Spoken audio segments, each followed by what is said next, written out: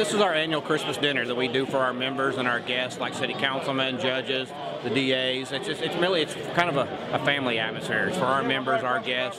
We feed about a thousand people roughly. We do this every year, and this is our first one in our new FOP building.